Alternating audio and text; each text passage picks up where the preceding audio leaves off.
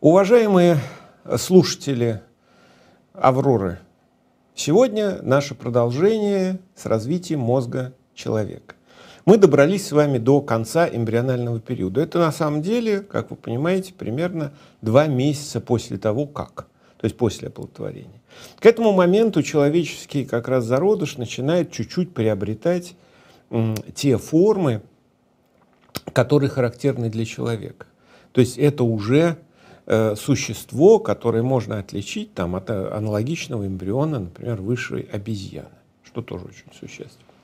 То есть, иначе говоря, у нас с вами получается такая ситуация, что два месяца – это общие эмбриологические признаки, о которых мы говорили в прошлый раз. Это и э, так называемое исчезновение хвоста, то есть признак нашей близости к обезьянам и исчезновение жаберного аппарата, в котором многие сомневаются, но, к сожалению, для этого надо книжки читать.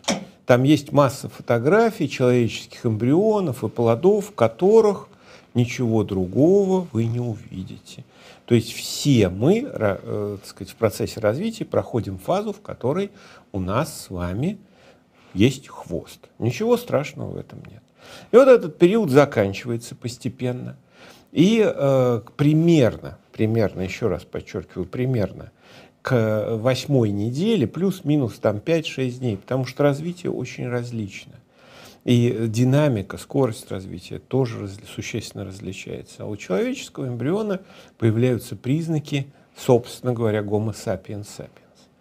В чем же они проявляются? Ну, во-первых, сразу начинает интенсивнее расти головной мозг. Всего за несколько, там, за две недели – он увеличивается примерно к 11 неделе в три раза. То есть это да, огромный уже такой мозг, который кажется, что занимает там большую часть головы. На самом деле, если посчитать объем, то этот объем очень невелик. Объем-то маленький на самом деле. Это же иллюзия. Почему? Потому что мозг тонкостенный, и э, его стеночка состоит всего лишь навсего из нескольких слоев клеточек. Вот именно в это время у нас и происходят основные события, связанные с тем, что формируется неокортекс. То есть вот этот рост мозга, он э, начинается как раз связанный с неокортексом. И именно этот период хуже всего исследован. Вот э, кому интересно, тот, кто познакомился с книжкой про эмбриональное развитие человека, есть такая книжка «Атлас мозга человека». Меня очень много спрашивают, в том числе и зрители канала «Аврора», где можно об этом почитать. Вот здесь описывается подробно о том, что происходит с головным мозгом человека хотя бы на анатомическом и частично цветоархитектоническом уровне в процессе эмбрионального развития. Чтобы описать полную цитрохтоническую дифференцировку, на это понадобится, я думаю, что не такая не одна книжка, а штук пять. Это вопрос, как вы понимаете, не ко мне, а к финансирующим организациям, которые должны стимулировать науку в нашей стране. Так что же происходит дальше? Вот у нас к 11 неделе головной мозг увеличился в три раза. Это чудесное событие, говорит о том, что начинается его морфогенез. И морфогенез человеческого мозга, он отнюдь не прост. А сразу же, когда еще мозг стоит из тоненьких стеночек, вот этот головной мозг, пока тоненький, тоненький, они еще не утолщились, мозг не стал, не образовал огромное количество отростков и связей, которые наполнят этот самый мозг. Содержимым пока тоненькая стеночка. Возникают складочки, то есть борозды и извилины. Причем их возникает сразу несколько штук, пять. А потом, спустя некоторое время, они распрямляются. То есть мозг сначала был герифицированный, вы видите, что там складки, все хорошо, а потом опять распрямляются, а потом через несколько недель образуются по новой. То есть вот такие причуды морфогенеза, которые связаны с распределением во времени и пространстве э, нейробиологического материала, ну, внутри неокортекса. То есть на самом деле происходят очень сложные процессы, детерминации образования индивидуальных полей, тех самых, которые детерминируют нашу э, индивидуальность. Что еще дальше происходит с этим мозгом? Наш мозг так активно увеличивает размеры полушарий, что они начинают закрывать крышу среднего мозга. До этого он очень похож на каких-то очень примитивных млекопитающих начинает закрывать крышу среднего мозга, то есть становится такой большой. То есть доходит практически до закладки мозжечка. И в мозжечке начинают изменения, то есть появляются парные полушария мозжечка. Напомню, что полушария мозжечка возникают только у млекопитающих. В свое время, много-много лет назад, ко мне обратился один исследователь космического пространства с требованием показать ему у птиц, в данном случае широко известных в космической биологии перепелов, э, червь мозжечка. Я был такой степени потрясен, что онемел на несколько минут, потому что заведующий лабораторией должен вообще представлять о том, что у птиц весь мозжечок состоит из одного червя. Вот у человека до примерно 8-9 недели он стоит тоже практически из одного червя.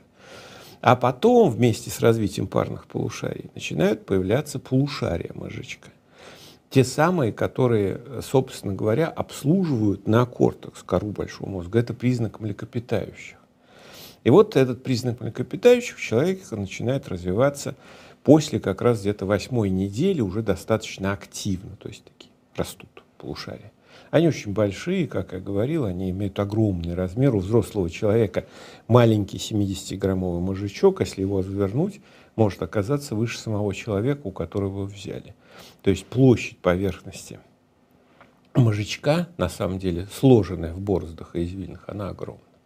В этот же момент начинает возникать и мозолистое тело, то есть те самые комиссуры, которые связывают между собой левое и правое полушарие потому что мы не можем ловить мячик вот так. Как-то надо его стараться схватить. Вот чтобы интегрировать это дело, нужны межполушарные соединения. Э, футбол однопроходные и сумчатые, и в баскетбол тем более, они не играют, поэтому у них такой проблемы нет, и мозолистого тела тоже. Дело в том, что как раз ехидные, Многие э, примитивные однопроходные, причем как из старого, так и нового света мозжечка, э, имеют развитые полушария мозжечка, червь мозжечка, полушария развитые. А вот мозолистого тела, как такого развитого, как у приматов и высших млекопитающих, нет. У них там есть передние и задние комиссуры, как у рептилий. Этого им достаточно для интеграции их поведения. То есть работа достаточно примитивной, коры большого мозга. То есть человеческий период характеризуется резким увеличением полушарий, э, ростом полушарий мозжечка и образованием межполушарных связей с мозолистого тела. Дело в том, что в этот же момент происходит и очень интенсивное образование отростков нейронов. Ну, могу сказать, что с этого момента, когда отростки нейронов только возникают и переходят, например, с полушария на полушарие, образуются дендритные древеса. То есть это что? Это отростки нейронов, которые связывают нейрон с ближайшими соседями. Не на большом расстоянии, как в мозолистое тело, а с ближайшими соседями. И э, увеличивается количество этих дендритов в десятки раз, там, в 40 раз, например, это Э, к рождению легко. А это что означает? Это именно тот объем, который увеличивает мозг. То есть число нейронов увеличивается медленно очень, хотя вначале интенсивно. Чем старше плод, чем ближе к рождению, тем меньше нейрогенез идет. Но увеличение объемов мозга идет исключительно за счет аксонов и дендритов. И только в части структур, ну, как горячо любимые этими самыми любителями стволовых клеток гиппокамп. Там, ну, сохраняется на протяжении нескольких лет единичные деления в гиппокампе. У грызунов сохраняется 2-3 месяца деления в гиппокампе. Но это повод, не повод, чтобы обманывать 30 лет все население планеты о том, что они будут выращивать новые мозги. Ну, как вы знаете, в сказке человечество верит с незапамятных времен особенно интенсивно. В этот же момент начинается такой феномен, как миелинизация отростков. Дело в том, что в нервной системе ничего не будет работать. И в ранний плодный период, после восьмой недели, впервые появляются так называемые олигодендроглия, и это внутри мозга, и на периферии э, швановские клетки. Но это отдельный разговор, о нем сейчас мы чуть-чуть поговорим. Что же происходит? А происходит следующее. Это оболочки нервов, которые изолируют друг друга. Аксоны как проводники. То есть дело в том, что там же сигнал передается, как я говорил, с помощью электрохимического пробегания электрохимической волны перезарядки мембраны. Это довольно сложное дело и требует оболочки, потому что нужна среда, заполненная необходимыми электролитами. Вот эту оболочку и формируют вокруг аксонов как раз те самые олигодендроглия, которые иногда накручиваются на несколько клеток и создают такой бассейн вокруг отдельного аксона. А в периферии это швановские клетки. Это все известные вещи абсолютно, но начинаются они примерно в этот период одиночными такими образованиями, потому что это происходит долгое время, там бывает до полутора десятков, а то и до двух десятков оборотов вокруг нейрона. То есть такая оболочка белково-липидная, непроницаемая для массы, массы веществ. То есть таким образом осуществляется стабилизация среды вокруг нейронов, иначе начать передавать сигнал в растущем детском, эмбриональном еще, или там полураннем плодном мозге невозможно. А мозг развивается, настраиваясь на всякие внешние воздействия. Потому что даже в утробе матери там эмбрион занимается всякими полезными вещами. Ну, например, поначалу он начинает нюхать. То есть у него вымерназальная система сложилась, она для чего возникла в эволюции? Как орган водного обоняния. Что он начинает нюхать там? Он начинает воспринимать околоплодные жидкости, запахи. И начинается настройка обонятельной системы. Я даже где-то описывал в какой-то книжке, от этого очень много чего зависит потом. Ну, например, есть такая гипотеза, я считаю, что она вполне адекватная, о предпочтениях, о сексуальной ориентации. Ну, кто пойдет э, гомосексуалисты, ну, а кто так сказать, останется в традиционном диапазоне, ну а кто в смешанном, ну там всякое бывает, как вы знаете. Так вот, если э, эта система настраивается, то есть весь мозг, вдумайтесь, весь мозг настраивается при появлении сигналов околоплодной жидкости, которая, например, сигнализирует о наличии, по тем или иным причинам, не будем говорить про мать, например, о том, что у нее очень много мужских половых гормонов в этот момент образовалось. Бывает такое, бывают сбои. Значит, что произойдет? Настройка мужского померназального органа, системы полового обоняния на восприятие мужских, подчеркиваю, мужских половых гормонов. Вероятность есть того, что перед нами потом появится гомосексуалист? Конечно.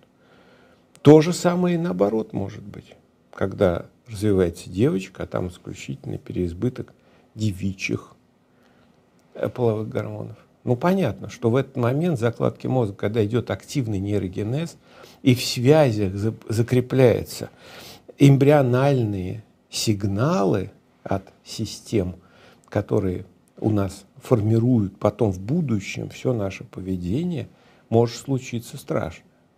То есть может так перенастроиться система и заложиться таким, такая система связи, что человек будет испытывать райское наслаждение, когда будет там э, хватать за мягкое место не существо противоположного пола, а своего. Да? И это тоже дифференцировка мозга. Кроме этого, добрые итальянцы, которые еще до Второй мировой войны ну, в рамках гуманистической программы, которая у них там процветала в то время, ну, и близости к Ватикану, они очень любили экспериментировать на человеческих плодах. То есть после аборта они брали и начинали тыкать его в разные места острыми иголками. Посмотрите, как он ножками дрыгает. Ну, такая вот, такие работы. Они опубликованы, неизвестно. Э, они, конечно, не очень гуманистичные, но они позволяют нам понять, как, включаются какие механизмы. Вот в этот момент как раз и начинается активная иннервация спинного мозга и от спинного мозга периферических мышц и нервов. То есть пока еще там спорадически сразу после восьмой недели подергивание ножек, то есть мышки, мышцы. А интегрированы начинаются через несколько недель. То есть ранний фетальный период – это момент отладки системы взаимодействий между спинным мозгом, его нейронами и периферическими мышцами. И это все э, необходимо для того, чтобы настроить систему. Именно поэтому потом на поздних стадиях развития человеческий плод начнет там пытаться дефекацию осуществлять, и тут же это начинает есть. Для того, чтобы какие-то ощущения испытать, нужно, чтобы это все работало. И если этого не будет, никаким волшебным образом никакие э, особые чувства не возникнут. Все это отрабатывается внутри утробы матери отнюдь не самым цивилизованным способом, а отнюдь не гигиеничным и не э, стерильным. Так что здесь, к сожалению, все происходит методом проб и ошибок. И именно в этот момент и настраивается массовая связи нейронов как внутри мозга, так и мозга с периферическими отделами. Меня очень часто спрашивали, да и спрашивают о том, что, а что происходит, а все говорю про мозг, да про мозг, а что происходит с периферической нервной системой? И даже специальные вопросы приходят относительно того, а что происходит вот с тем же кишечником. Ну, это, видимо, вопросы идут от закоренелых марксистов, которые считали, что все от желудка. Согласен, но на самом конченным марксистам – Э, в животном мире являются карпозубы, ну то есть карп, достаточно вкусная рыбка, э, которая, у которой настолько развита пищеварительная система и поиск пищи, и кишечник так хорошо иннервирован, что в заднем мозге есть специальные такие лобусы образования нейральные, имеющие слоистый компонент – то есть стратифицированный, как наша кора головного мозга. Так что вот карпы, они настоящие марксисты последовательные, потому что у них все от желудка. И они как раз ищут пищу, выбирают оптимальный способ питания, у них все на этом построено. То есть у них в переднем мозге никаких стратифицированных структур нет, естественно, это же рыба, никакой коры там нет, ничего. У них в среднем мозге есть стратифицированная структура, ну, из-за зрения. А основной орган чувств, это, как вы понимаете, это кишечник, в который попадают разные пищи. Вот они последовательные марксисты, все остальные имитаторы. Так вот, э, от имитаторов поступают иногда вопросы о том, а что происходит в это время с периферической нервной системой и как бы это все объяснить. Здесь недавно вышла книжка первой фамилии стоит Хачанский, второй Макаров. Она называется анейромышечный комплекс ободочной кишки. В норме, там при эксперименте. Речь идет, конечно, о крысах. Но о чем идет речь? О, самое тщательное на сегодняшний день в мире исследование, посвященное кишечному, кишечной иннервации аппарата. То есть вот вся нервная система кишки разобрана очень подробно. И с чудесными иллюстрациями, сделанными с помощью моноклональных антител, которые представляют себе катастрофу устройства этого нашего самого кишечника и его нервного аппарата. Это чудесные изображения, которые дают представление, насколько развита у нас нервная система в кишечнике. То есть на самом деле, если так по-серьезному к этому отнестись, а не издевательски, как я сейчас, э, и вытряхнуть из кишечника нервную систему, то есть выбросить все, кроме нейронов и их отростков, то выяснится, что у нас в кишечнике во всем нервной системы это больше, чем в мозгах. И тут интуитивно Маркс, который, как всегда, как вы знаете, сильно нуждался в деньгах, в общем-то прав. Да, действительно, мы сильно думаем, без энергии, идущей от кишечника, ничего не получится. Поэтому нервный аппарат, обеспечивающий этот механизм, он очень сложный. Здесь, кстати говоря, описано, можно посмотреть картинки любопытные. Кстати говоря, книжку достать очень сложно, потому что, как все хорошее, оно предназначено не для всех. Поэтому на обществе патологоанатомов российском можно найти следы того, как приобрести эту книжку, и, может быть, если вам повезет, вам удастся ее купить. Значит, мне просто ее автор подарил, поскольку я, так сказать, рецензировал его диссертацию. О чем речь идет? И он здесь подробно описывает устройство этой самой нервной системы кишки. Это сложнейшая система. То есть она, во-первых, состоит из двух слоев нейрональных сетей. Ну, вы знаете, что современные лучшие компьютеры, они строят одну нейронную, нейрональную сеть, а у человека только субмукозное сплетение состоит из трех слоев нервных сетей. Ну, то есть современный искусственный интеллект постепенно э, приближается к одной трети человеческого субмукозного нервного сплетения прямой кишки. Так что большой привет искусственному интеллекту. На самом деле в интере, э, э, интернальной системе нервной, э, которая охватывает весь кишечник, входит несколько компонентов. Они различаются там выше, ниже и так далее, они все различные. Интеральная нервная система, к сожалению, не так проста, как кажется. То есть существует дифференциация и по отделам, и по слоям, и по участкам Э, по, участ, э, по участвующим нейронов и по, по длине отростков, которые в этом во всем участвуют. То есть это суперсложный механизм. Задача простая – прогнать бутерброд через весь кишечник и извлечь из этого самого бутерброда все, что можно. Ну и поэтому э, получается так, что у нас вся эта система состоит из интрамуральных ганглиев, то есть таких скоплений нейронов, которые связаны между собой и иннервируют все – то есть есть между мышечными слоями такой слой интрамуральных ганглиев и потом субмукозный. То есть, иначе говоря, это очень сложная, соединенная по вертикали и по горизонтали нервная сеть огромного размера, которая на самом деле включает нейронов не намного меньше, чем в головном мозге. И при этом более важных для нашего организма, потому что они определяют меж наше э, взаимодействие между нашим организмом и внешней средой. Поэтому всячески советую поискать эту книжку, которая называется «Нейромышечный комплекс ободочной кишки в норме и при экспериментальном остром колите», потому что на сегодняшний день это единственное внятное сочинение на этой малюсенькой планете на эту тему, которая дает представление хотя бы о мышиной э, нервной системе кишки. А так могу сказать, да, это очень важный орган, очень важная система. У человека, кстати говоря, она начинает дифференцироваться из клеток нервного гребня, о которых я говорил, ну, еще в конце нейруляции, когда у нас только-только замкнулась нервная система. Эти нейроны, которые лежат на границе эктодермы и нервной трубки, расползаются. И в данном случае, если говорить о нервной системе кишечника, они мигрируют в основном по э, блуждающему нерву и заселяют этот самый кишечник. Ну, если там что-то не успевает заселиться, там по брызжейке потом тоже мигрирует в ободочную кишку и э, в прямую.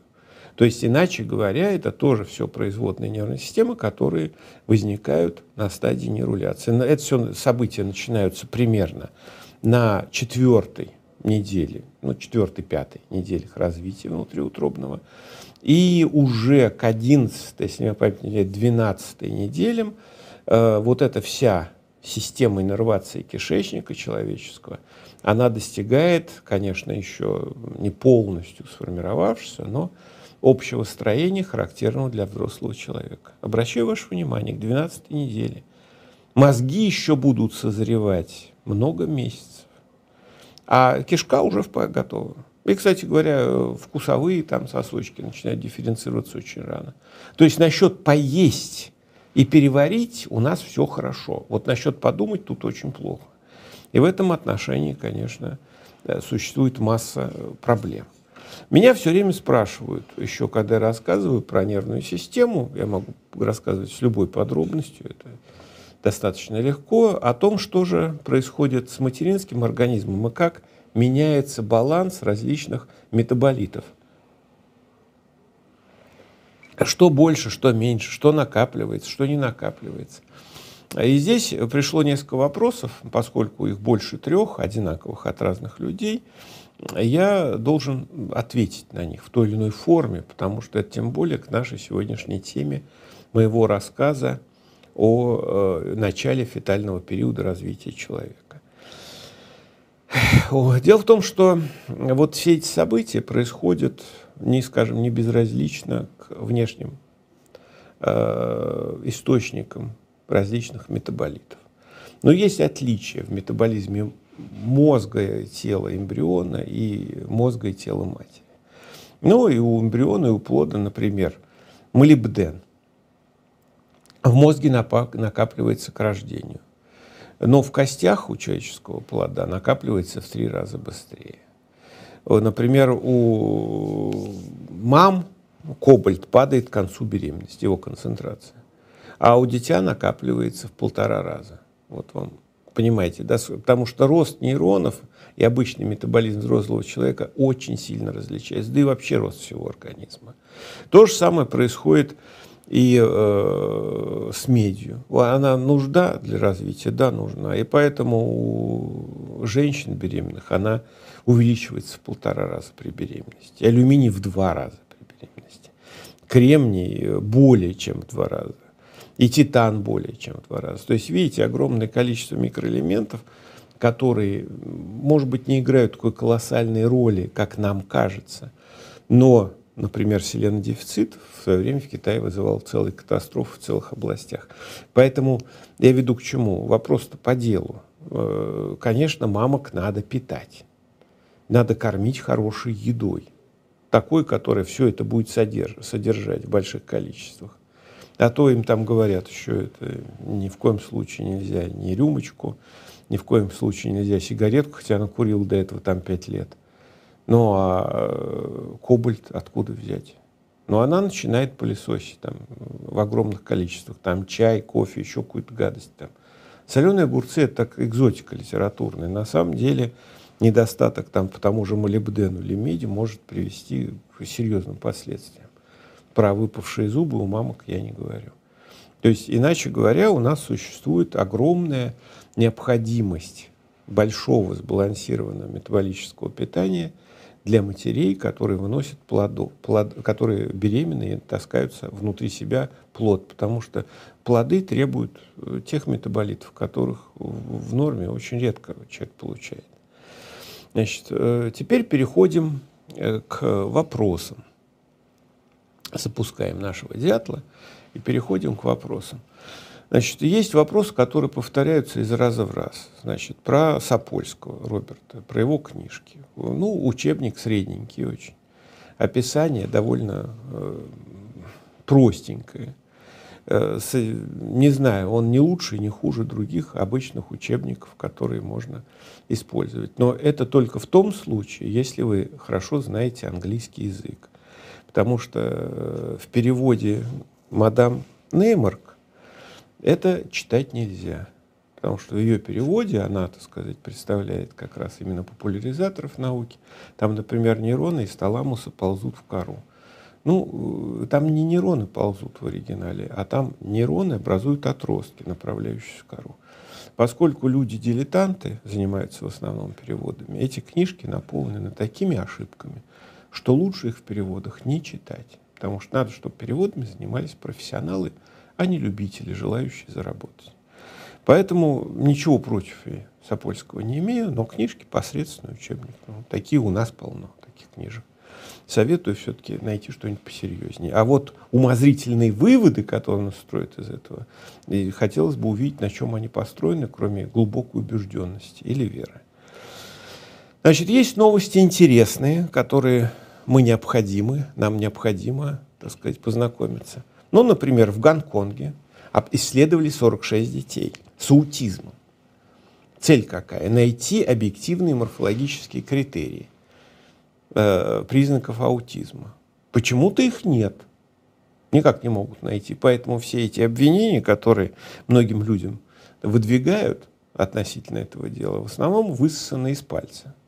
Но, тем не менее, вот сейчас вроде бы в Гонконге появились первые свидетельства того, что это так. Тем более легко проверить. Можно проверить глазное дно не только у детей, но и организаторы Wikileaks. Интересно, у него как с глазным дном, раз у нас есть объективные критерии аутизма. Было бы занятно, если это подтвердится. Вот. Дальше. Есть еще интересные работы, которые скорее являются не столько работами, столько смех панорамой, э, о том, что, например, э, есть люди, умершие от ковида, модной болезни, э, у которых легкие не были поражены. Специальные исследования показали, что без легочных проблем гибель наступает от проблем с мозгом. А вот это для нас крайне интересно. В чем же дело? Дело в том, что при исследованиях оказалось, что мозг больных, умерших с наличием ковида, да еще в острой фазе, но с нормальными легкими, э, сосуды головного мозга были страшно поражены. То есть капиллярное русло было разрушено, и вокруг этих капилляров разрушенных возникло мощнейшее воспаление. То есть что происходит на самом деле? Что делает этот самый вирус? Он вызывает то самое неприятное состояние, которое у нас известно как аутоиммунизация собственной нервной системы. То есть дело в том, что я говорил уже многократно об этом – и не поленюсь повторить о том, что наш мозг является забарьерным органом. Нет, конечно, есть особые популяризаторы науки, которые вам скажут, что ну как же, как же, мы с помощью э, генов, на которых записана память, ну это совсем недавнешнее прошлое, или молекул специальных памяти, можем передать любую информацию. Вот. Если вот отречься от этого бреда, Э, и посмотреть на то, что действительно происходит, у нас в желудочно-кишечном тракте, о котором я только что говорил, там все расщепляется до маленьких молекул, которые никакой информации не содержат. Но что происходит у нас в случае с ковидом? Он проник в организм там, через кишечник, через легкие, там, как угодно, и попал в мозг. Дальше он разрушает капилляры. Из этих капилляров что выходит? Кровь. Что происходит дальше? Аутоиммунизация, то есть воспаление множественное в многих отделах головного мозга, вот этих самых вокруг разрушенных капилляров. Этого следовало ожидать. Ну, для этого э, особого ума не надо. И так ясно, что при разрушении гематоэнцефалического барьера будет аутоиммунизация и воспаление. Но масштабы таковы, что на сегодняшний день ковид может вызвать смерть при э, значит, пробое гематоэнцефалического барьера просто от массового мелких кровоизлияний и, соответственно, воспалений уже внутри головного мозга с здоровенькими легкими. Так что не кашляйте. Это даже и не нужно. Вот. Это очень важный момент, потому что людям, которые, так сказать, малообразованные, надо объяснять по 500 раз, чтобы они поняли, что опасность не только в легких, но и в головном мозге, который на самом деле намного более уязвим.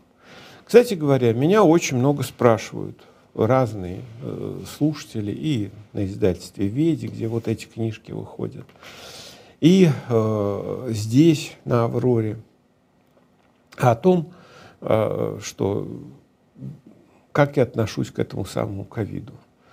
Э, отношусь к нему плохо, как к любой болезни. Но у меня очень много вопросов, которые, на которые я не вижу ответов. Ну, например, приведу один пример единственный.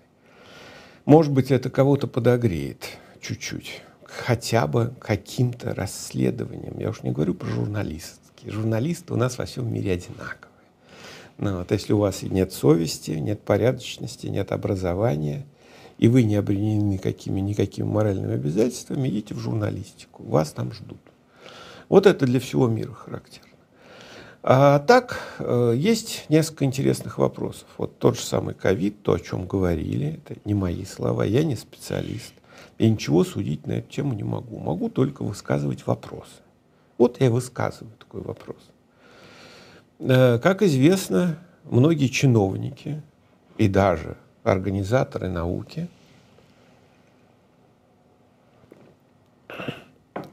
выучили замечательное слово сочетание цитокиновый шторм. Такой шторм, шторм, шторм набросился и прям так все. То есть на самом деле о чем идет речь? Речь идет об очень простых вещах.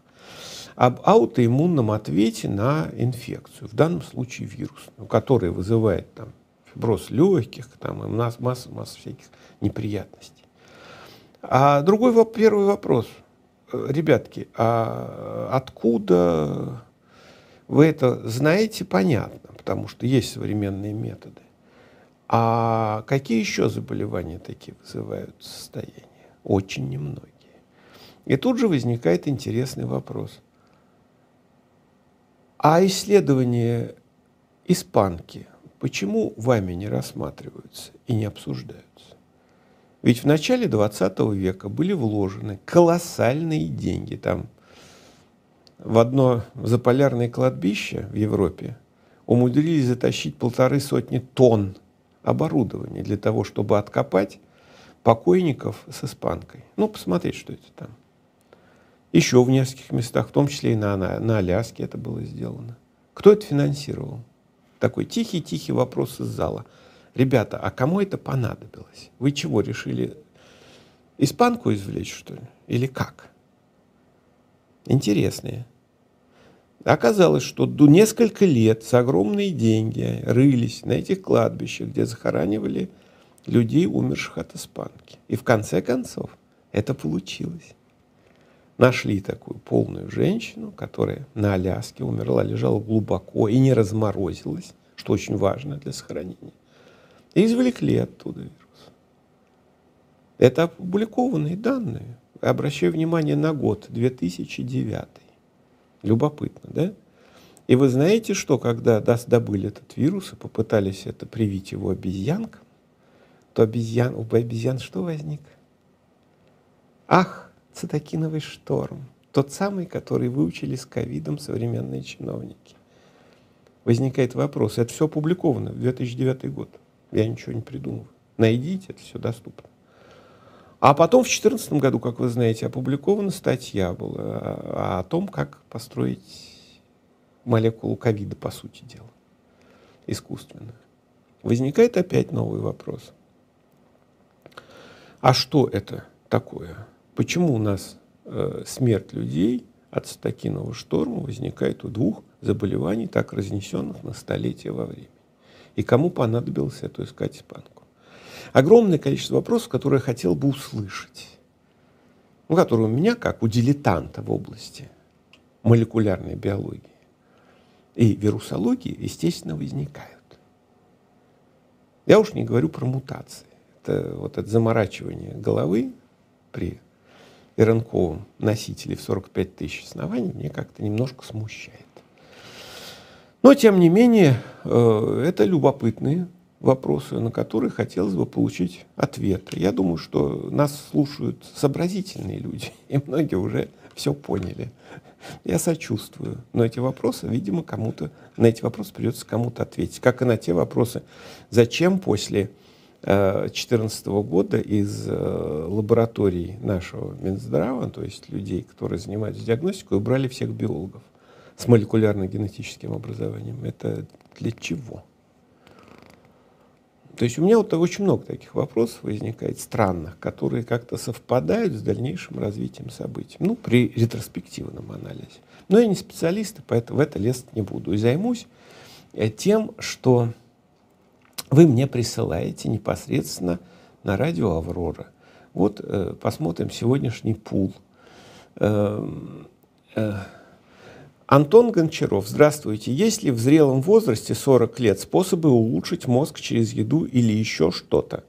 Слушайте, в 40 лет мозг улучшать не надо, им надо пользоваться. Ну, и чем активнее, тем лучше. Почему? Потому что ваши мозги на самом деле еще находятся в очень хорошем состоянии. Они даже не стали уменьшаться, как после 50. Я многократно говорил об этом, то, что с 30 до 50 Э, они более-менее в стабильном состоянии. То есть дохнут нейроны, конечно, но не сильно. А вот после 50 уже начинают сильно дохнуть. Но это тех, кто головой не пользуется вообще. Ну, в смысле, э, ну, там, дети олигархов, там, такое, когда нужно учиться пробовать пользоваться кредитной карточкой и не забыть, как водить машину, хотя бы на автомате. Ну, вот в этих... Нет, всем остальным, там, то, что ниже пояса, они еще пользоваться умеют. Вот. А вот это обязательно надо запомнить как-то, твердо затвердить. Э, вот все остальные, кто пытается пользоваться мозгами э, для того, чтобы решать насущные проблемы, там, добывать пищу, ухаживать за детьми, что, конечно, несложно, поскольку тут мозгов не требуют, здесь сплошные инстинкты. Но, тем не менее, какое давайте пытаться давать образование. Просто пользуйтесь мозгами. Просто если вы, у вас есть возможность подумать пять минут, ну, досчитайте до 100 и подумайте. Тогда ваши мозги будут работать. Я приводил в своих книжках книжка вот есть «Изменчивость и гениальность», в я привожу просто отпечатки сосудов головного мозга извозчика и профессора. И тот, и другой умерли в одинаковом возрасте, мозги примерно одинакового размера. Вот у профессора в 10 раз капилляров больше. Вы хотите, чтобы у вас были мозги, как у профессора, так вы их и напрягаете, как профессор, а не как извозчик. Тогда склероз захватит не все сосуды. Я уже говорил о том, что у нас в норме, если мы ни о чем не думаем, ну, в смысле, стерильны, сидим спокойно, смотрим с бутербродом во рту программу «Время» или «Аврора», то у нас работает один капилляр, снабжающий определенный пул нейронов, а четыре в резерве. И если вы не задумываетесь, например, я вам сказал какую-то гадость, и вы возбудились, и у вас там адреналин выбросился, и вы захотели загрызть профессора, это очень хорошо. В этот момент включается еще один или два капилляра, и они становятся проходимы для эритроцитов. И область мозга увеличивается кровоснабжение. Таким образом, я спасаю ваши мозги, ну хотя бы на уровне возмущения. Вот. А если человек интенсивно пользуется, то работают все пять капилляров, но так долго не получается, энергетический обмен у нас ограничен. Но тем не менее, регулярное обращение к сложным задачам, заставляющим работать весь мозг, позволит вам и в 40 лет совершать чудеса. Вспомните, что Павлов Иван Петрович, хотя я не разделяю его, так сказать, восторгов по его поводу, но тем не менее все, что он смог сделать, он сделал в очень зрелом возрасте. И таких вещей было сделано очень много. Пользуйтесь головой чаще, она хорошо сохранится. Определение души – это наблюдатель за миром глазами моих нейронов. Феномен, что на наш мир кто-то смотрит. В какой-то момент антоген, он проявляется. Тра-ля-ля-ля-ля. Значит, так. Зачем понятие души, когда у вас есть мозги? Душа – это то, что вам продают – кстати, сегодня большой праздник. Я всех поздравляю с этим праздником. Ну, настоящих эволюционистов и любителей э, искусственного отбора, потому что, как вы знаете, любые теологические конструкции нужны для того, чтобы интенсифицировать искусственный отбор, то есть ну, уничтожать друг друга по вескому поводу. Ну, для этого же надо как-то все объяснить. Ну, вперед с песнями. И в этом отношении понятие души – это очень ценное понятие, но характерно для ранней для, для раннего периода искусственного отбора гоминид. Ну, то есть вот там две тысячи лет назад, тысячи лет назад это все хорошо работало, сейчас все немножко изменилось, поэтому, ну, любителей антиквара много, я ничего против не имею, иногда это работает. Значит, есть ли вообще хорошие книги э, по полезному питанию на разных стадиях беременности? Нет.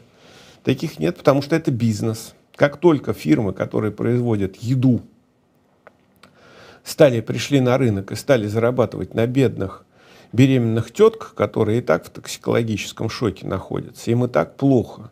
У них и так огромные проблемы. Сначала они там думают, жениться, не жениться, потом забеременеть, не забеременеть. То есть весь этот бред силы кобылы сваливается на их бедные головы, а потом еще за счет их организма строит организм еще какой-то там, который внутри сидит. Ну, то есть это катастрофа. И как только туда пришли вот эти все псевдоученые, популяризаторы на самом деле от науки, ну, вот, они начали продавать сразу же туда всякую полезную еду, это, э, которая это, это улучшает развитие эмбриона и плода, который обеспечивает его всеми необходимыми элементами. Э, мне страшно об этом говорить, мне страшно читать эти книжки, еще страшнее слушать этих, этих теток, которые просто зарабатывают на бедных беременных женщинах. Могу сказать, отправляйте жену в деревню, пусть питается нормальной пищей, обеспечьте ее там мясом, рыбой, молоком и деньгами на всякую траву, и пусть нормально живет. А вот если вы будете ходить по этим больницам и с этими бизнесменами, которые кормятся от бедных людей, которые э, мечтают получить здоровое потомство, а вместо этого из них просто откачивают деньги, ну, Следить, конечно, обследовать надо, чтобы там не упустить какой-либо патологии. К сожалению, они часто случаются. Я об этом много раз говорил. Ну, вот, тут ничего не сделаешь, нужно делать регулярную диагностику. А кормить надо не по инструкциям из сомнительных диетологов, а самым простым способом. И желательно в рамках этнических традиций. Ну, вы представьте себе, если там, например, такой чуд человек живет там потомки живут несколько тысяч лет или даже несколько столетий, несколько поколений на одной территории, привыкли к определенному метаболизму, типу пищи и прочее, все нормальные рождаются.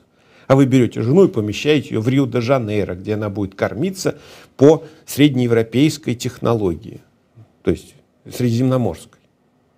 Ну, ребята, лучше сразу в сумасшедший дом отправить. И ее, и потом. Что вы сделаете с человеком?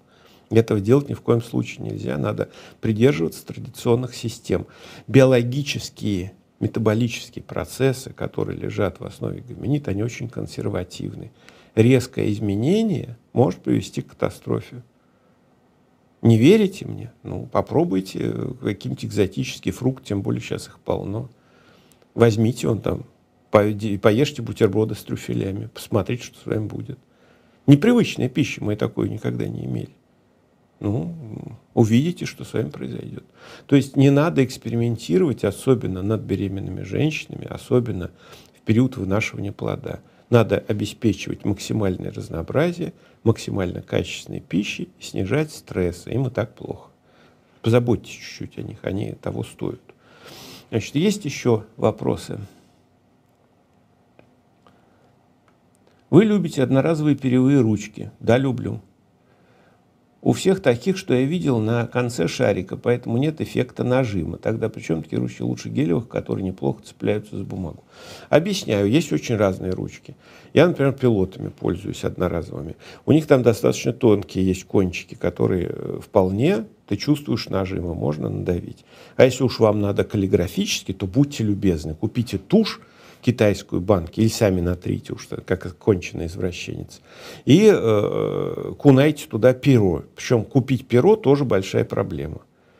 Кстати говоря, их надо очень часто менять. Нормальный художник, который работает пером даже вот в комиксах, он на картинку уходит одно-два э, пера, чтобы хорошо отрисовать. Имейте это в виду. Перестираются. У меня были там ручки с иридиевыми кончиками, но все равно стираются. Ну, ничего не сделаешь. О каких особенностях человеческого мозга говорит каллиграфический почерк и способности к игре на музыкальных инструментах? Спасибо, Борис Зорин. Ну, во-первых, говорит о том, что вы квалифицированный человек, судя по всему, можете контролировать себя. То есть это большие, в лобных долях есть специальные поля и подполя, я не буду на них сейчас останавливаться, но смысл такой, что они должны быть большими для того, чтобы каллиграфически писать. Ну, есть, вы знаете, как все учили в школе. Каждый знает, что в школе обязательно есть 2-3 ребенка в классе. Не то, что идиотов, которых надо просто выпороть два раза розгами, и они там начнут быть нормально вести жизнь. Нет, ну, которые просто не могут писать. Вот, ну, ну, э, вот это вот э, проблема, связанная с очень маленьким полем, которое контролирует наше как раз письмо. У нас там есть на границе нескольких полей есть такая область, которая, от развития которой зависят эти возможности. Но если она большая, в их каллиграфистов мало, очень. Требуется очень сложная координация движений. Не всем это дано.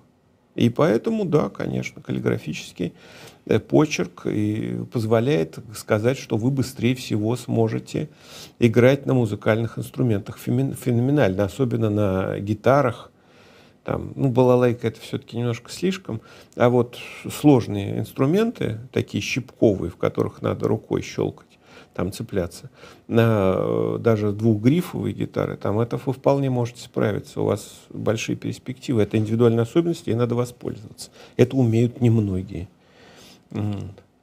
Э, вопрос Савельеву. А в нацистской Германии проводили опыты по удалению части мозга или вообще опыты с мозгом? Что с этого использовали в нынешнее время?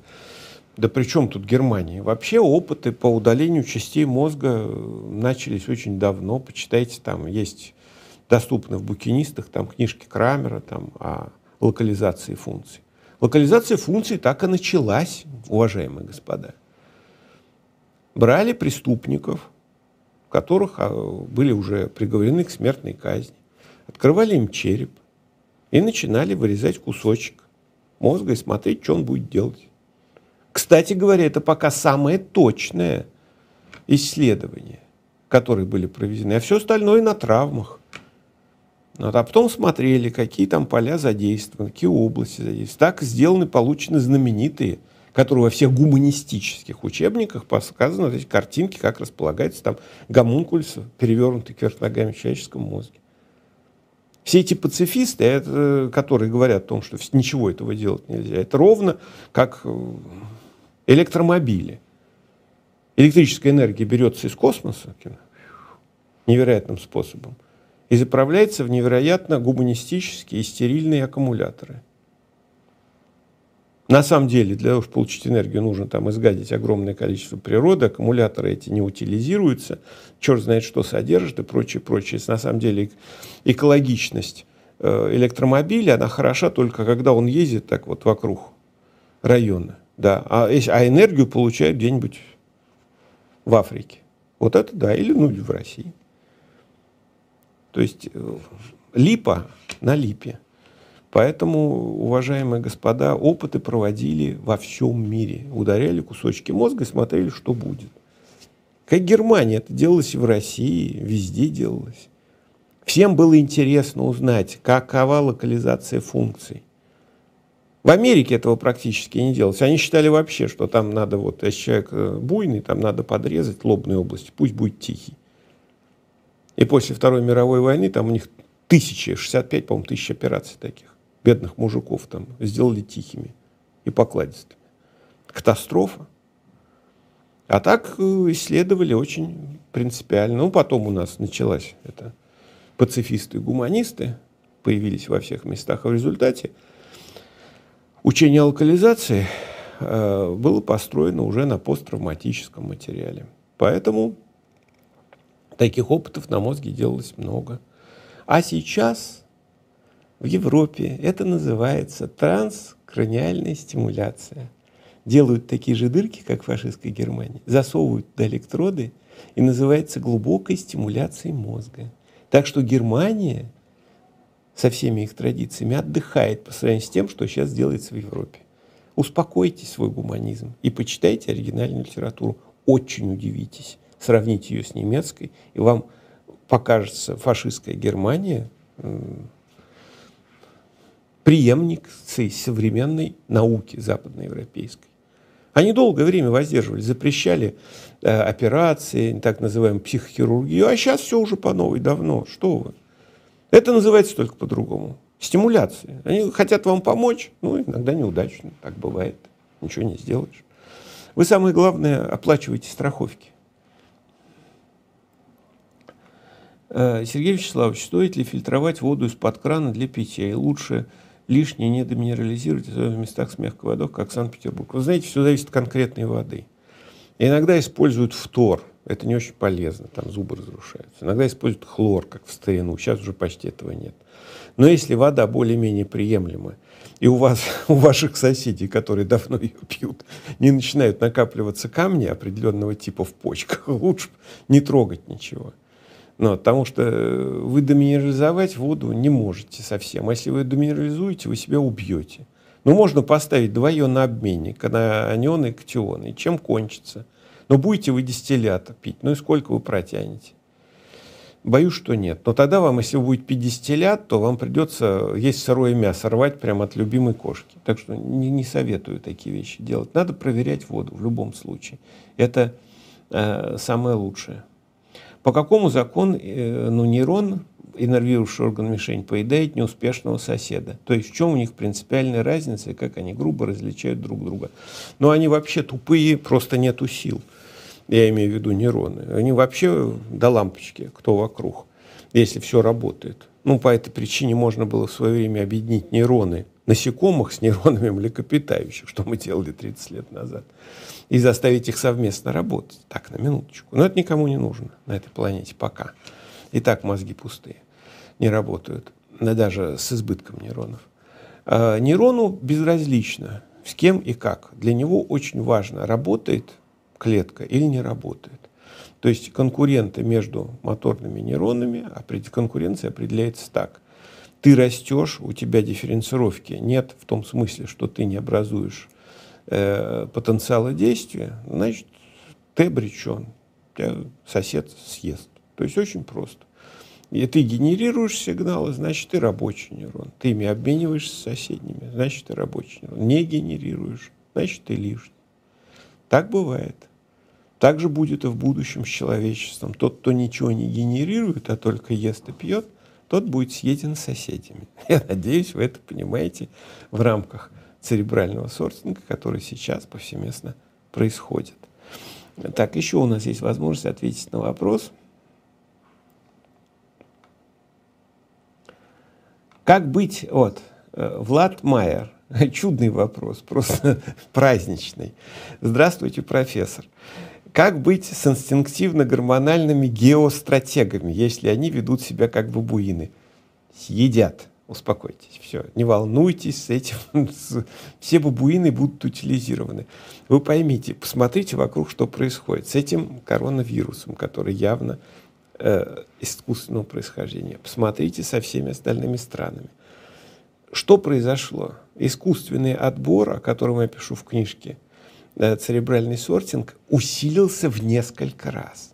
И он, обращаю ваше внимание, в этом самая прелесть. Он идет по биологическим законам. Я призываю, давайте, ребят, остановим это дело и будем контролировать систему эволюции человека, исходя из неких разумных представлений, ну хотя бы из пятизвенной конституции. Мне говорят, ни в коем случае. Это Бог знает что, это, это чуть не фашизм.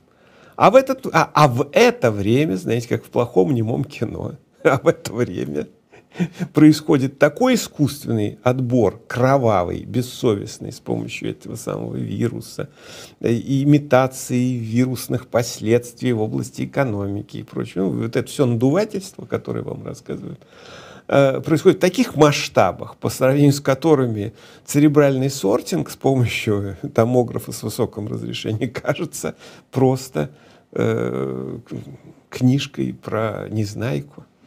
Ну, то есть милейшие человечки, которые занимаются очень полезным и нужным делом. Так что вот э, такая ситуация. И э, представить себе, что геостратегия, ну геостратегия не безвредная, они берут же ведь как э, кто-то что-то сказал, они раз и начинают толковать, это такие толкователи снов по-старому такие сказители, знаете, как на гуслях, которые дрынь-дрынь делали. Услышал где-то, пересказал. Вот у нас этих там директоров институтов чего-то в будущего, экономического прошлого и прочее, как грязи в распутицу. Поэтому страху никакого нет. Геостратеги, как вы знаете, ничего стратегически предсказать не могут. Потому что плохо владеют реальной ситуацией. То есть они являются ну, такими сказителями. А законы, к сожалению, биологические, по которым мы живем, они носят совершенно другую форму. И э, все экономические процессы – это косвенные следствия тех э, ужасных биологических процессов искусственного отбора, которые с нами происходят. Я, собственно говоря, ужасаюсь от этого. Но посмотрите, кто доминирует в популяциях. Ну это же ужас. И вот это вот оставляет плодовитое потомство. Это такая самодвижущаяся катастрофа, рассчитанная на многое, на, на очень большие последствия э, в обозримом и необозримом будущем. Поэтому, да, конечно, геостратегия это ужасно, но это как пыль, ее всегда стирают три мокрой тряпочкой, и ничего не сделаешь. В какой степени сохранности находится в данный момент коллекция мозгов одаренных людей, которые вы, ваши пришельцы, кто и каким причинам хотел уничтожить коллекцию результатов? Ну, здесь длинная история довольно. Первыми попытками уничтожения коллекции э, мозга были еще связаны с неким э, таким, мягко говоря, человеком, э, с Еленом Семеновичем Кесаревым, который притащил э, в Институт мозга в Москве, который теперь уже, по сути дела, является отделом Института неврологии, притащил э, Лейтс ТАС. Это такой компьютер – э, до XT еще, то есть архаичный. То есть э, там мигали лампочки, все это подключалось к микроскопу. То есть убоги, убогая система. То есть сегодня любой iPhone превосходит его там в сто раз. Притащил несколько нагловатых инженеров туда, довольно малограмотных, которые начали рассказывать о том, что вот сейчас они посмотрят в этот компьютер через микроскоп на мозги и решат все проблемы. Ну, то есть ровно то же самое, что происходило со стволовыми клетками, с клонированием человека, с редактированием генома. В общем, вся эта прохиндиада, которая заполнен у нас научный мир, научные, скажем так, эти самые э, журналы и среда, стволовые клетки, там прочее всякое. Это, вот это все было и тогда. Это были 70-е годы. И тогда потребовалось помещение под этот самый компьютер. Потому что там же как стабилизация температуры, вдумайтесь, это еще до пентиумов, до XT. То есть это вот сейчас это на ладонник превосходит. Ну и помещение освободили, выкинули часть коллекции мозга. Ну, как вам это нравится? Выдающихся людей. А теперь, обратите внимание, есть такая Катя Амунс в Германии, которая, как я понимаю, вывезла часть коллекции. Уж по каким законам они оказались в Германии на сканировании, я не знаю. Это не ко мне вопрос. Поэтому, по моим оценкам, поскольку я неоднократно обращался и, предлагал, так сказать, продолжить исследование, поскольку они закрыты, я думаю, что коллекция находится в достаточно печальном состоянии, поскольку э, к ним никакого доступа э, не существует. Поэтому на ваш вопрос могу ответить так. Судя по масштабам потерь и судя по отсутствию здравомыслящих публикаций, я думаю, что э, коллекция находится в ужасном состоянии. Ну вот. А поскольку контроля никакого нет, я думаю, не будет. Потому что э, эти коллекции – это ключ к пониманию устройства человеческого мозга и будущее человечества. Поэтому я думаю, что это как во всяком прям нормальном биологическом процессе должно быть э, сильно пострадать, должно сильно пострадать или вообще уничтожено. Ну, так обычно бывает, совсем здравомыслящим. Я видел, как э, в своей юности, как теперешний институт э, физкультуры Лезговт, как на его чердаке были выброшены выдающиеся коллекции мозга животных, собранных со всего мира. Ну да, поднимались аспиранты, смывали выдающиеся мозги уже вымерших, исчезнувших животных, и на них приклеивали свои эти крысиные эксперименты, а Иван Петрович Павлов дальше продолжать. Я видел, как закапывали во дворах научно-исследовательских институтов не когда-то давно, вот в 90-е. Уникальные коллекции, например, патологии человеческих эмбрионов и плодов. Сердце разрывается. Но, уважаемые господа, не я министр здравоохранения, не я министр э, каких-то там этих это, высшего образования и науки. И ничего сделать не могу. Я знаю, как пропадали выдающие, архивы выдающихся ученых, как люди клали жизнь на то, чтобы спасти эти самые коллекции и материалы. Да, это им стоило всей жизни. Но к чему это приводило? Отнюдь. Победа всегда за биологическими процессами. Так что бабуины доминировали и будут доминировать. Они же больше ничем не занимаются. Они же не занимаются наукой. Они занимаются обеспечением э, своего биологического состояния. Поэтому с ними конкурировать сложно. Нужно ли бросать науку и с ними бороться так, теми же приемами, или они тебя победят. Так всегда бывает потому что человечество не заинтересовано в научном развитии. Оно продолжает, как я вам говорил, развиваться по биологическим законам.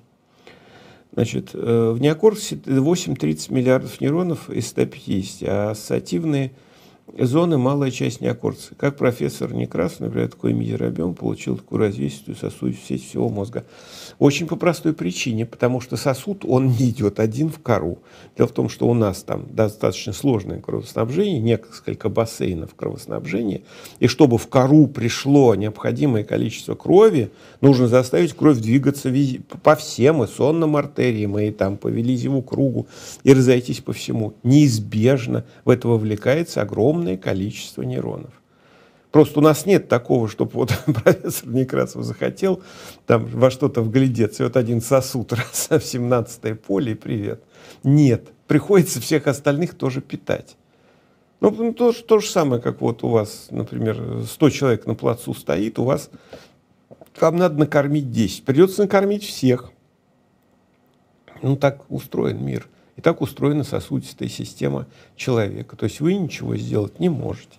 То есть в данном случае приходится остальных э, кормить тоже. Ну, мозг, конечно, дифференциально этим занимается, не все сразу сосуды включаются, то есть там дифференциально, но тем не менее э, остальным тоже кое-что перепадает, когда у тебя кровоток в большом сосуде увеличился, мелкий тоже что-то получает. Когда уже встанет на поток церебральный сортинг? В 20-м, 30-м, 40-м э, всем это будут делать. Да кто хочет, тот и будет делать. Но не в 20-м и не 30-м. Это может наступить через год, а может не наступить никогда. Потому что сейчас при сегодняшних технологиях можно за год это смастерить и запустить всю машинку, и э, компьютер, и сканеры, и аналитическую систему. Но это, от этого здесь нужны не деньги даже. Здесь нужна политическая воля, которой нет. Пока. Может быть, она где-то есть, но очень спрятана искали испанку, чтобы создать ковид, решить пере, проблему перенаселения планеты по их сценарию золотого миллиарда, чтобы так же эффективен был ковид, как испанка. Вот сейчас бы пригодилась группа «Вымпел». Ну, вы как-то радикалист какой-то. Но мысль правильная, направление интересное. Искали испанку, потому что, представляете, сколько денег надо было, чтобы ее найти? Это вам не церебральный сортинг устраивать. Тут покруче будет. Так, дальше. Похоже на то, что ковид более сложное оружие. Он, возможно, имеет отложенные последствия. Обязательно. Нужен профессионал, чтобы разобраться, например, почему ковиды две или три, что в них разного. Для начала надо не разбираться, а надо публиковать первичные данные. Вот вы слышите, какой-то дядька, который называет себя вирусолухом – говорит, у нас мутация. Так, где мутация? И чего мутация? Вот у нас первичный код, там 45 тысяч оснований. Чего мутировало и как? Нельзя ли поинтересоваться? Тишина. Поэтому нужно сначала опубликовать вот эти все первичные вещи. Там просто при, при перезаражении происходят одиночные замены. Но я не специалист в этой области, они лучше вам все объяснят. И поэтому со временем все гриппы злые и сильные, постепенно падает их активность. Почему мы этой информации не имеем? Где публикации о том, что происходит с этим вирусом? Есть длинные пересевы, где он сохраняет свою активность долго, а есть коротенькие, быстро, быстро, быстро. Значит, там изменения возникают быстрее, быстрее, быстрее. Где эта информация? Это базовая информация, без которой нельзя ничего это слышать вообще. Мне очень тяжело слушать новости. Потому что на ключевые вопросы ответа нет. Дальше вопрос. Уханьский вирус другой, чем итальянский. Это к вирусологам. Они большие любители, там вот пусть они вам рассказывают. Сергей Вячеславович, дайте совет школьникам, на кого стоит учиться в эту сложную эпоху. Я в 10 классе узнал от вас, что написал книжку «Нищета мозга». Спасибо за вашу деятельность. Борис Зорин спрашивает. Слушайте, мне очень трудно что-то советовать. Я не футуролог. Это они там все знают наперед, но ни один из них, например, не предсказал телефона. Это говорит о ценности футурологических идей. Ну вот, и даже компьютера. То есть, к сожалению, вот это вот все, э, все эти футурологические прогнозы сложны. Э, одно можно посоветовать вам, что вы должны заниматься тем, что требует от вас максимально, максимальных индивидуальных усилий. Только тогда вы можете добиться того, что вы будете нужны. Если вы решили, что, например, ну вот я освою некую простенькую профессию, ну и все, сейчас она в фаворе на колбасу хватит. К сожалению, не хватит. Сейчас освободится гигантское количество там офисного планктона. Сейчас еще два шага компьютерных технологий, и все это никому не нужно. Они не нужны будут физически. Нажимать на компьютер будет на кнопочки, не надо. Будут нажимать программы. Сейчас еще там 5-6 лет, и э, в городах уж точно поедут автомобили без э, водителей. Куда девать это все? Человеческий мозг может освоить очень сложные профессии. Поэтому идите по принципу сложности. Чем сложнее занятие, тем меньше шансов, что вас заметят компьютеры. Или подрастающее поколение, которое всегда лениво, похотливо и думает, что у них вечность впереди. Поэтому учитесь сложному, это гарантирует вам будущее. А к какому сложному, это уж вам выбирать. Миримар. Вера. Женщины чаще всего выносят мозг мужчинам. Если есть что выносить, тогда и выносит. Вот, э, еще вопрос. Существуют ли интеллектуальные игры или во всех относятся к комбинаторике? Конечно, комбинаторика. Игры-то придумывают не гении. Э, во многих американских фильмах присутствует тема лоботомии. Это с чем связано? Как раз этими методами опытов над преступником. Да не опыты никакие. Слушайте, почитайте, это есть, это доступно, плохо доступно. Но вы же ведь все тыкаете в компьютер. Ну так тыкайте хоть чуть-чуть поосознанней. Ну нельзя же, как будто у вас одна кнопка все время, нажимать на одно и то же.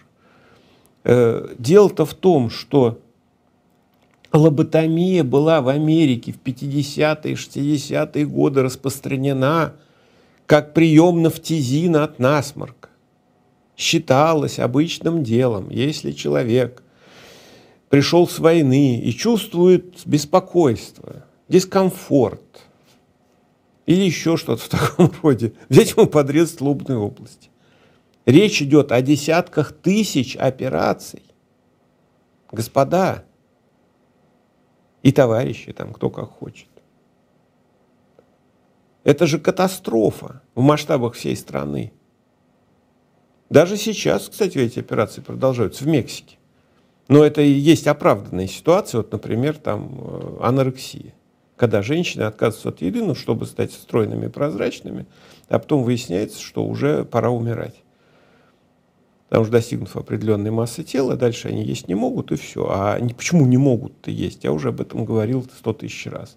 Потому что наши лобные области возникли и развивались как система торможения агрессивного поведения для того, чтобы самки могли делиться с детенышами своей едой, а потом то же самое происходило и в отношении окружающих, неродственных особей. Благодаря дележу пищи, то есть тормозным способностям наших лобных областей – нам удалось создать социальную структуру сообщества, гоминид. Это очень важный признак. То есть лобные области могут затормозить самое главное. Необходимость в пище, мы можем от нее отказаться. В этом все дело. И поэтому, когда подрезают лобные области, женщины почему начинают питаться? Да по той простой причине, что торможение прекращается. То есть вот это торможенное действие прекращается. В Мексике такую операцию делают, а в Европе нет. Из целей гуманизма там травят их дустом, ну то есть успокоительными, и они умирают. Ну так, в благородном состоянии. Я понимаю, что большинство из вас разделяет европейские ценности, так что да. А кто хочет там спасти свою невесту или жену, то, пожалуйста, в Мексику. Это по желанию. Поэтому лоботомия – это обычное дело в Америке. Это была такая распространенная операция, что я вот не знаю, сколько сейчас там современников живет с лоботомией, но я думаю, много, поскольку они там многие среди них тихие и покладистые. Это хорошо. Сегодня мне 28 лет, один год в органах, два года на госслужбе. Не могу смотреть на бесполезность. Шел с работы. Какой путь выбрать, живя в небольшом кургане? Спасибо, Сергей Вячеславович. Мамочка, я понимаю, что вас беспокоит. Да, конечно. Там не только должно беспокоить бесполезность, но и то, что там уже, я думаю, китайцы выпускают те самые анально-ректальные допросные устройства, которые у этих ребят скоро начнут применять, потому что масштабы вывезенных денег страны просто катастрофичны. А, но если говорить по сути вопроса, то займитесь тем, что будет зависеть лично от вас. Что это единственный способ.